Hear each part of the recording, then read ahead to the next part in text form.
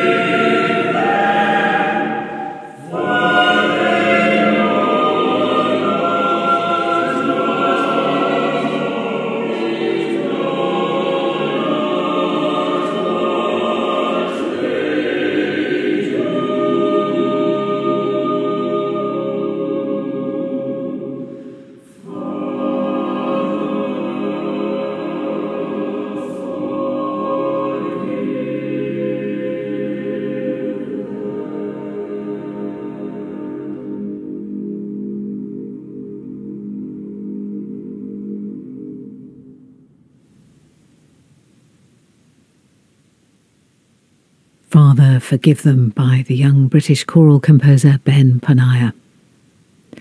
More from Sir Charles Villiers Stanford now. The BBC singers perform another of his three motets, Opus 38, which were published in 1905 but composed and first performed much earlier.